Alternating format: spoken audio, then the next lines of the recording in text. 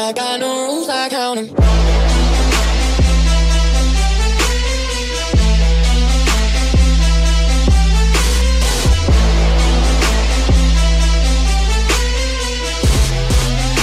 No, ed evidentemente credo che non fosse lì solo per Candreva, ma anche per definire l'arrivo di, di Asamoah. Sì, lui ha parlato di una visita di cortesia, però è chiaro ed evidente che eh, sia lecito pensare ad altro, visto che comunque eh, fa parte dell'entourage di, di Asamoah che vestirà la maglia dell'Inter a partire dalla prossima stagione, per cui è anche eh, istantaneo pensare ad un movimento di questo genere. Non ci sono novità per quanto riguardano i riscatti di, Can- di Cancelo e di Rafinha, soprattutto per quanto riguarda Cancelo, penso che non sia in dubbio anche eh, per quanto il giocatore ha dimostrato nel corso di questa stagione, soprattutto perché poi eh, c'è la possibilità di innestare dei soldi nel, nel bilancio dell'Inter con la cessione di eh, Kondogbia, anche qualora non si dovesse verificare con il Valencia, è un giocatore che ha certamente riacquistato mercato rispetto alla passata estate, è ovvio che per l'Inter la complicanza maggiore arrivi dal dover riscattare entrambi i giocatori all'interno di Eh. questa stagione, inserendoli quindi No, nell'esercizio di, di bilancio attualmente in corso e questo va a, a, ovviamente aggiornare le difficoltà. Per quanto riguarda Rafinha io penso che sia molto difficile che l'Inter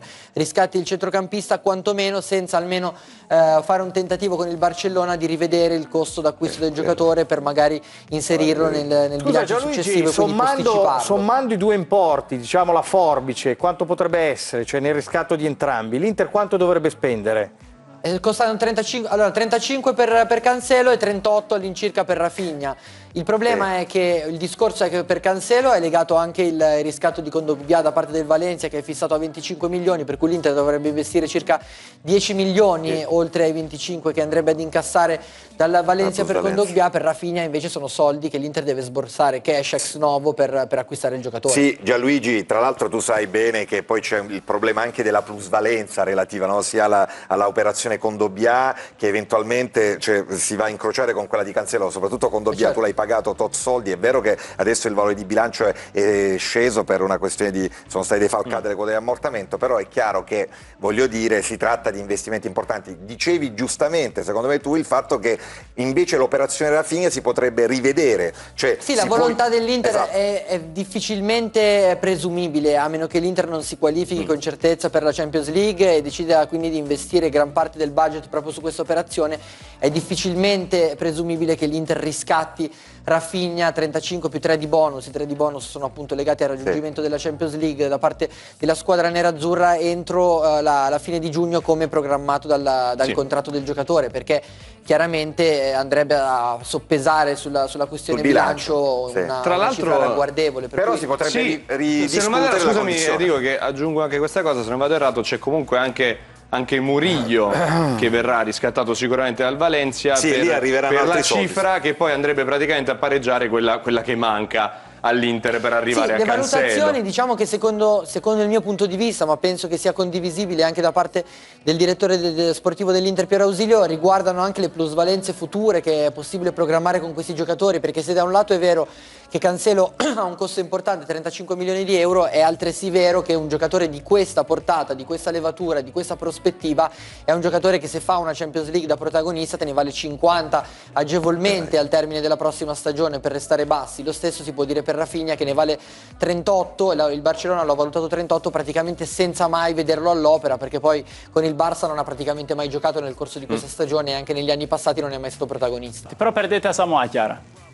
A Se ne va Samoa lo perderemo, io sono molto dispiaciuta di questo, soprattutto dell'ultimo Asamoah che si è visto nel- in questa fase di campionato, sarà una grossa perdita, però sì, eh, se ne andrà. È stato bisogna- infortunato per gran parte È del tempo. Poi, infortunato. tra l'altro, a Samoa, scusa se interrompo, ad Udine nasce come mezzala e Esatto, poi viene spostato. esatto. Quindi ad Udine ha fatto dei campionati pazzeschi da mezzala e, e buttalo via a Samoa mezzala, sinceramente. E ha fatto dei campionati-.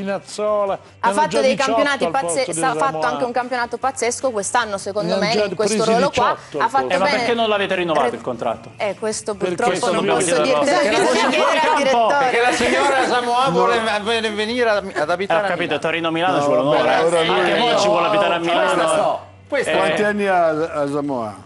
88. Eh sì, 30. Quanti? 88. 30. Un po', Ufficiali. un po' di più. Sì, vabbè, ufficiali. Adesso sappiamo dire No, adesso, eh, no, Luca adesso fa- sta Samoa facendo delle sa. battute. Ma Samoa è un ragazzo. Allora, Volevo parlare di Anglomar, a Samoa, di Pelé, a Samoa dai, fatti io vorrei sapere cosa significa in un'altra squadra, soprattutto quella che indicano tutti. L'Inter. È il L'Inter. modo con il quale non si fanno le squadre di calcio, perché si prendono i nomi ma non si prendono i cognomi. Vabbè, prende anche De Questa è Vrij, la eh. verità. E non si fanno le squadre così.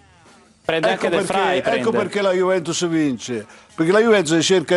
eh, prendiamo il caso di Douglas Costa. Sì. Douglas Costa era. E qui bisogna dare merito ad Allegri, attenzione. Se voi vi ricordate il Douglas eh, nel Bayern Monaco, era uno che faceva, saltava un avversario, due, tre e il quarto li toglieva. Avete visto ieri? Tre passaggi, tutti. tre passaggi, tre gol. Grazie a evita, evita di, pass- di- di saltare gli avversari in, eh, in quantità, ne salta uno e dalla Dobbiamo parte. Ma anche migliorato Buffon, in eh? fase difensiva, tanto Prego, migliorato anche, in fase anche, difensiva. ma lui sta facendo ora il centrocampista e il difensore pure. sì, sì. E questo è un merito del signor Allegri, ragazzi. Sì, ma nessuno vuole togliere nulla ad Allegri, quindi la conferma che stiamo parlando di un grande allenatore mi sembra abbastanza Sì, oggettiva. prima parlavamo del problema gol dell'Inter, ne ha parlato anche Luciano Spalletti quest'oggi, per lui conferenza stampa, andiamo a sentirlo. Chi ha fatto più gol di noi? L'Aia? Lazio, Napoli, Juve, eh, Roma. Basta. Lazio, Napoli e Juve. Hanno sempre fatto anche gli anni precedenti, che siano, che siano diluiti male è un discorso, ma poi ci si ne lega un altro. La Lazio per fare tutti questi quanti ne ha presi? Ha presi molti di più.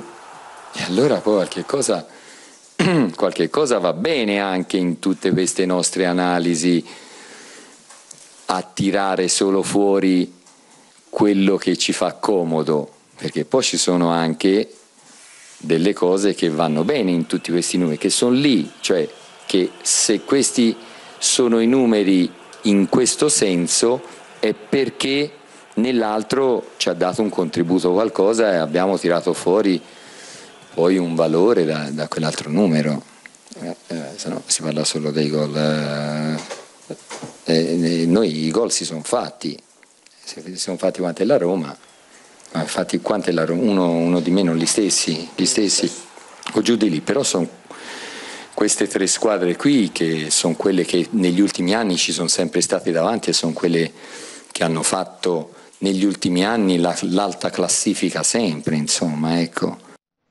Andrea, ha uno Spalletti che non sembra particolarmente preoccupato della, della questione gol. o finge bene oppure, oppure è veramente convinto di quello che dice. Mm, che ci sia un problema è evidente, che se non segna i cardi la- l'Inter faccia una fatica terribile. Non vince ad- praticamente. Ad andare in gol. eh. Che i cardi segni a raffica in certe partite e poi faccia virgola per eh, un lungo periodo magari eh, di... di sì, vabbè, è un classico, capito? Se, se- se hai solo quello Di di, di bomber, no, diventa, diventa un problema. sei- la, sei- fortuna, la fortuna dell'Inter è che le altre, mh, quelle che sono in lizza per andare in Champions, non sono andate così veloci, sono tutte raggruppate. Là, adesso l'Inter è dietro di un punto rispetto alla Roma e alla Lazio, però mancano sei giornate, quindi se la possono giocare tutti. Non so se, se riesce a far vedere Sì, come il no, adesso andiamo- calendario. adesso la vediamo insieme, la grafica relativa alla chi- corsa chi ha Champions. più Però Così.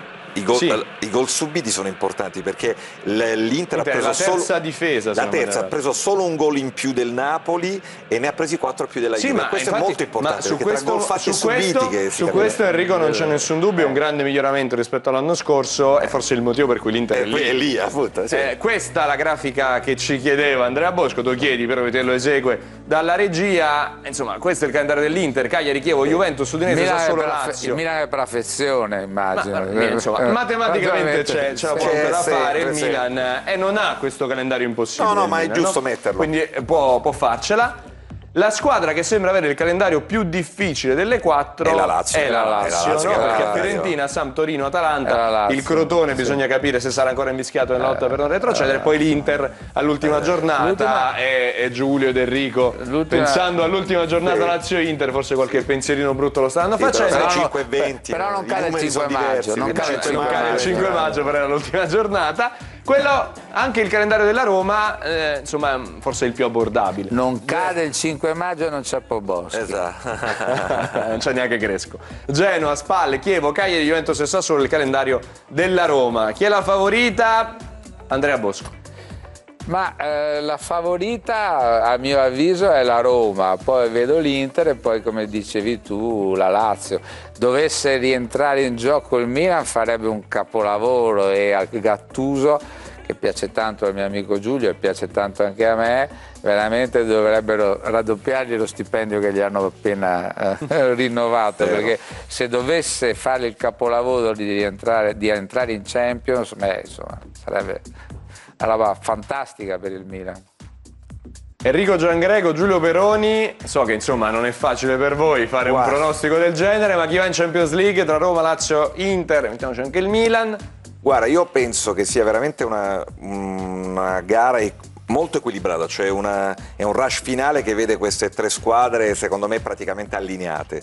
Tra le altre l'Inter può già pensare che se arrivasse pari punti con entrambe eh, sarebbe comunque tra le due che avrebbero la meglio perché... Dipende eh, dalla gara con la Lazio, no? eh no, perché attenzione che la, la Roma, se non erro, è messa peggio sia con l'Inter che con la Lazio. La no? Roma sì, la Roma sì. Ah, tu dici se arrivassero tutte e tre a eh sì, tutte e tre insieme. sì, resterebbe fuori la Roma, Se arrivasse la Roma. con la Roma sarebbe comunque avvantaggiata l'Inter, quindi è chiaro che a questo punto... Se poi fosse decisiva quella partita ci sarebbe anche da discutere di De Vrij perché è un giocatore che vestirà la maglia Eh sì. opposta al termine della stagione. Quindi- Diciamo che sarebbe quantomeno complicato capire quale sarà la sua valutazione. forse per lui sarebbe il caso di, 90 minuti. di non giocarla. di no? non giocarla per lui sì. Pochino e, sì. e comunque penso che sia veramente una- un rush finale straordinario e che nessuno possa parlare di favorita più o meno. Uh, Giancarlo Padovan, Milan definitivamente fuori dai giochi Champions, Lazio, Inter, Roma, chi resta fuori? Inter? Per come gioca in questo momento l'Inter, io credo però che la Roma deve stare attenta perché è vero che ha un calendario favorevole, ma ha la Champions che le porterà via tanto perché deve, deve dare tanto. E l'occasione che ha in Champions è un'occasione fantastica di arrivare alla finale, poi non si sa, e, e quindi qualcosa può lasciare per strada. Io Vedi- dico quindi vediamo che l'Inter può rientrare a, a discapito della Roma. Vediamo anche i numeri dell'Inter, Icardi che comunque ovviamente eh, se non segna l'Inter fa fatica, questo è un problema serio, Simone Marchetti aspettando Sì. Lautaro Martinez come il... Messia. Ja, proprio. Sì, sì, Oppure come no, stavo esagerando, quindi sembra- volevo fermare. No, no, Stavo sono d'accordo con te. No, no, quindi- ma io sono d'accordo con te, mi sembra un po' esagerata come cosa, esagerata. assolutamente. Però- Però in effetti, e ne parlavamo prima con Chiara durante il servizio, cioè l'Inter sta dimostrando una pochezza in attacco imbarazzante.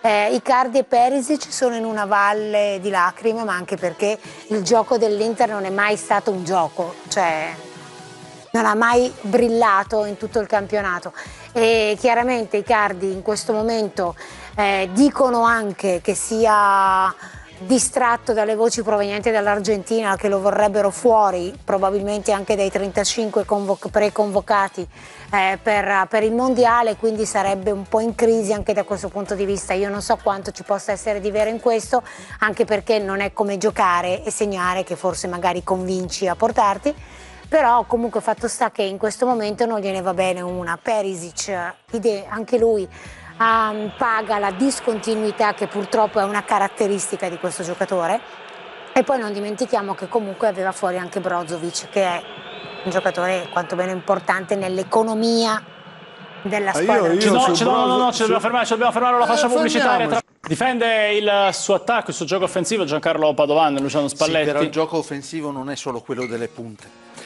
Secondo me si deve segnare anche con gli altri, si deve segnare anche con i centrocampisti, devi segnare anche con i difensori, Deve segnare anche Candreva, prima o poi. Magari. che non fa un gol neanche per sbaglio. Peraltro, se non lo fa giocare come a Bergamo è difficile che, che segni, però lui un gol dovrebbe farlo prima o poi.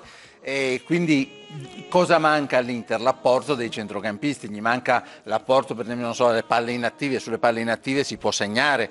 Sono tutte situazioni di gioco che uno bravo come Spalletti sa, conosce e deve tener conto che quando si dice segna poco eh, si fa riferimento alle ultime tre partite. Insomma, nelle ultime tre partite l'Inter non ha segnato un gol a, ven- a fronte di occasioni molteplici. Faccio un esempio, a Torino col Toro, mio Dio, eh, non mettere dentro un gol, eh, È una stata, rete è stata... è stata sfortunata. Mezzo gol nel derby Sì. l'aveva fatto però. Stata sfortunata in quello che Mezzo gol nel derby era stato facile. Sì, comunque eh, Non Spalletti non tiene conto che i gol che ha segnato l'ha fatti tutti nella prima parte del campionato ed erano dei fenomeni Perisic e, e Icardi. Se poi dopo questi due sono venuti meno, se prima avevano un centrocampo che portava avanti la palla e dava a loro, ce l'avevano anche dopo. Allora evidentemente qui c'è un'area un po' particolare perché sistematicamente l'Inter parte bene e a dicembre finisce di partire bene e parte male.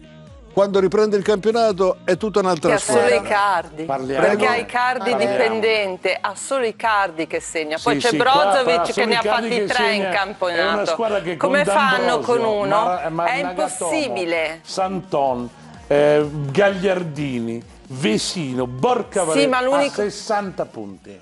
No, Nagatomo- A Nagatomo 60 non c'è- No, no, no, Nagatomo con più. Nagatomo c'era, Ah, quando no. erano primi in classifica. È andato via a gennaio. era il tedesco. Sì, Era ma il mercato è stato gestito male. No, ma il mercato si a capisce. 60 punti. C'è un problema. Quindi che segna Icardi, che segna Guardarini o la Scusate, Rimba- ma se va via 60 Icardi lì- l'Inter di ripeto, D'Ambrosio, Miranda, Nagatomo, Eh sì, eh, Gagliardini, Vestino, Però il problema è Icardi. a 60 punti. Ma il problema è Icardi, secondo Sono me. d'accordo che Spalletti Toglici Icardi. moltiplica i pani e i pesci, Non- non cammina sull'acqua. Però- però attenzione, Icardi, se luce. togli Icardi all'Inter, Io non lo hai tolgo tolto per- il ma cuore perché- del ma pulsante dell'Inter. Perché il Barcellona non è che i calciatori stanno sempre, non ha sono 15 sempre la stessa punti di squadra i calciatori, gliel'hai tolto e finito l'Inter. Hai più ragione. Il Barcellona quest'anno ha vinto 8 partite, almeno 8, grazie vabbè, ma a Messi. Perché glielo devo levare? Perché Sì, devo- ma può essere Icardi. che Icardi abbia un destino diverso no, per l'Inter. Infatti uno dei problemi ma che discorso qual è stato, qua? qual è stato uno dei problemi ieri. della dirigenza? Il mercato. Ma questo cosa perché questo non si una- riusciva a fare. Ma scusa, Ma ma stiamo parlando di scusate, scusa, roba. scusa, Luca. Io ho detto che ha se- Ma di che cosa questa stiamo squadra parlando, qua allora? ha Non lo so. 60 punti. Sì, è un 60. miracolo che questa squadra- Con i nomi che ha fatto è un miracolo che Ma mi fate 60. parlare a me? Parla, non parlo mai. Eh. Vai, sono Allora, 50 anni, allora, io ma ho detto sempre bene. Ah, beh, Allora, eh, io dico che eh, l'Inter in questo momento ha fatto un campionato discreto. Ma Discreto. discreto, buono. A Natale a Sant'Ambrogio era prima in Ascolta, classifica eh, eh, con la Juve, Ma con io sto Napoli, la parlando di io c'è sto dicendo quello che dici tu. E Però la sostanza qual è? È che è una squadra fatta male. Perché tu citi dei giocatori che praticamente non hanno titolo a giocare in una squadra che sei, vuole vincere qualcosa. Questo è il punto. Allora, eh, diciamo che è bravo Spalletti, ma diciamo anche che forse c'è un'area un po' particolare in questa società che parte bene e finisce male. Perché non è Ma se va fuori dalla è Champions così. e non è Sono se va fuori dalla è così, Champions però. che abbia fatto tanto bene, attenzione. Eh. No. Sono anni che è così, direttore. È così, Che esatto. Inizia è bene e poi... Voi, quanto lo dicevo a gennaio? Tu- Manca Beh, la però- Champions dopo sette anni. E tu non vai, vai a prendere la riserva del Benfica. Diamo, diamo anche un'occhiata alla bassa classifica, diamo un'occhiata anche alla bassa classifica. Destruction.